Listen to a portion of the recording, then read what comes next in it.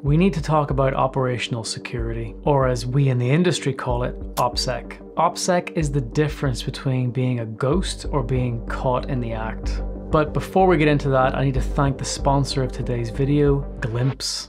As you know, I only promote tools that I actually like, and Glimps is certainly one of them. It's a malware analysis platform and it is super private. It's not like other platforms where they're using your data as part of their sales pitch.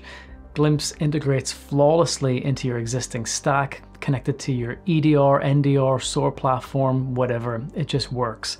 And it doesn't just scan for the easy stuff, the known malware, it uses deep learning technology to pick up on zero day malware as well. And they do highly effective automation of binary analysis and threat detection in the blink of an eye. It's agentless and it can handle tens of millions of files a week on prem or in the cloud.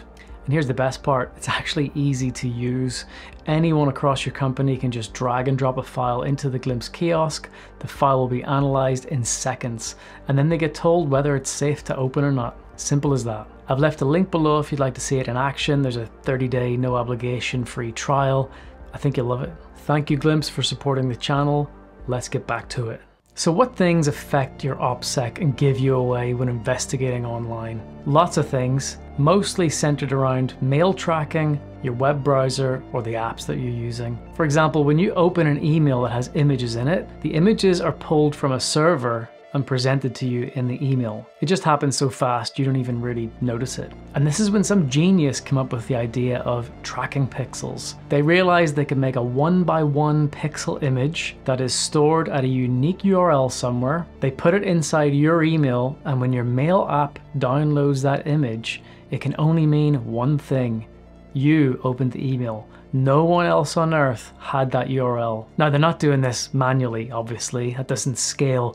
Tracking pixels are a part of all of the major email platforms. And they do a lot more than this though. They don't just tell if you've opened an email. They can also collect things like your device type, your browser, the operating system, the time of the visit, and a whole bunch more. Let me just give you a couple examples of this. Here's an email to me from IO Interactive. And if you look here, this is the privacy panel within the settings for the mail app and you see it has protect mail activity. If I just turn that off a second, hide IP address, hides my IP address whenever I load those remote images, block all remote content. If I click that, you'll see the picture just disappeared. If I move this up out of the way, you can see Sean Bean has disappeared. Those images are stored remotely. So that's that side of it. Let's also look at another email server that I use, hey.com. Now, Hey is fantastic. It's just a revolution in terms of how I use email. And what they do is they block spy tracker pixels. So I've got an email here from Webflow, but as you can see at the top,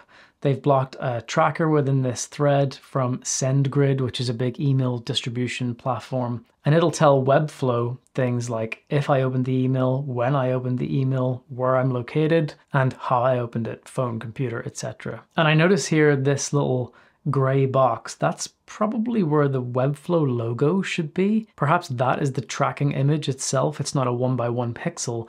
They use the whole image to do it. Maybe, I'm not sure. So look, that's email in a nutshell. Let's talk about web browsers. When you go to a website, it is the digital equivalent of walking into someone's house. You're on their turf and they get to see you, smell you, learn about you. They serve you a nice cup of coffee and a cookie. See what I did? Now there's a few different types of cookies. There's okay cookies and there's not so okay ones. Let's get the okay ones out of the way. Session cookies. When you log into a website, they give you a session cookie which lasts for your entire session online and when you log out or kill that session, usually that token or cookie gets destroyed. The next time you come and visit, you get a new one. When you log into a website, if you take that session cookie and then give it to someone else, they can just put that into their browser and log in as you. It's that easy. So never give those away. The cookies that we want to avoid are the tracking cookies, the ones used for e-commerce. And don't get me wrong, they absolutely have their use. Sometimes I actually take advantage of them so that I can try and get better deals on things. But remember, we're looking at this from an investigation standpoint. These cookies don't die when you leave the site. They follow you around the internet and report back to a whole bunch of companies about where you've been and what you've done. Now, all the modern browsers have done a lot of heavy lifting around persistent cookies like this, but honestly, they're rarely perfect. And a lot of the advertising companies have figured out other ways to get around it anyway. Now, let's just look at Wired. Wired's one of my favorite websites. I love coming here to read about all the latest goings on. And when we come here, we get this pop up that says, We care about your privacy. We and our 167 partners store and access information, blah, blah, blah. 167 is actually quite low. I was on a website recently and they had 2,000 partners. Incredible. Let's just click on List of Partners. And here we go. We can filter these. And the filters are quite interesting. So, store and access information on a device personalized ads, precise geolocation, actively scan device characteristics for identification, ensure security, prevent and detect fraud, fair enough, match and combine data from other data sources. And here are all the companies that are taking part on Wired's website. So that's a whole lot of reach for a whole lot of companies. And if we click on show purposes, you can see a whole bunch of different options here. You can turn these on or off and then confirm your choices.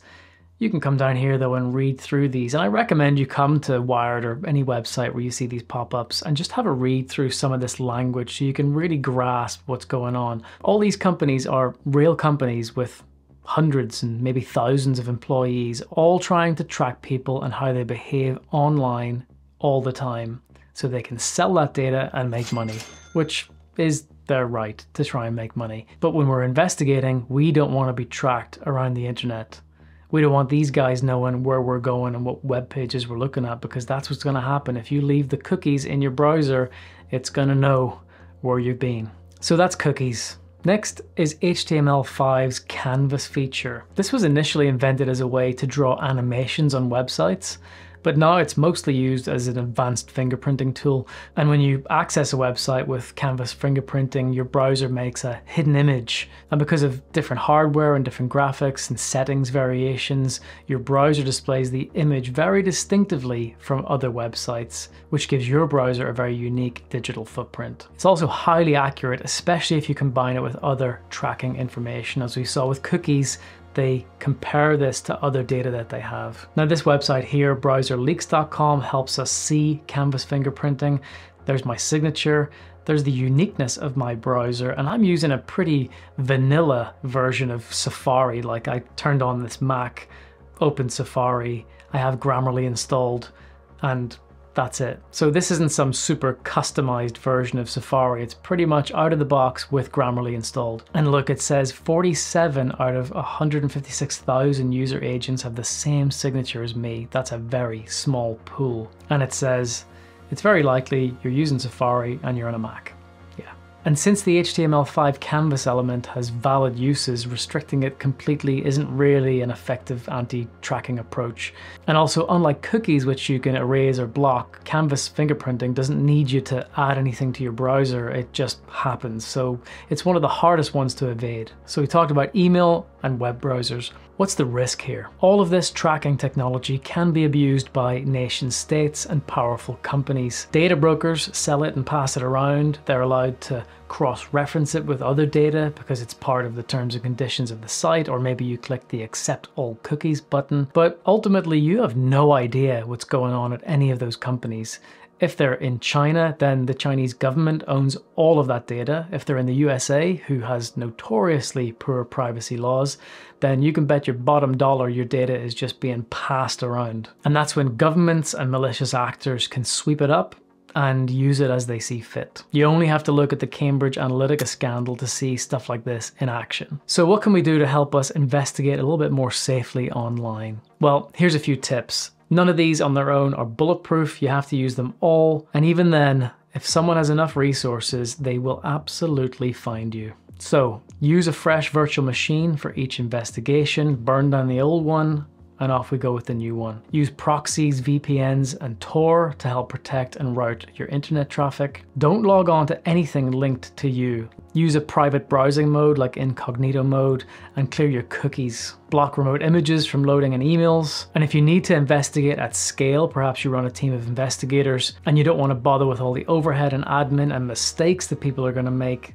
doing all those things that I just mentioned, it's probably worthwhile investigating some sort of paid managed attribution service to handle all the virtual machines and privacy aspects for you. Now, people can still make the mistake of logging into their personal Facebook with inside those managed sessions, that's bad practice, but it's much simpler to run investigations in that way. So that's it. I'm gonna go shut down my computer, cut all the cables, and hide away in a cave. Until next time.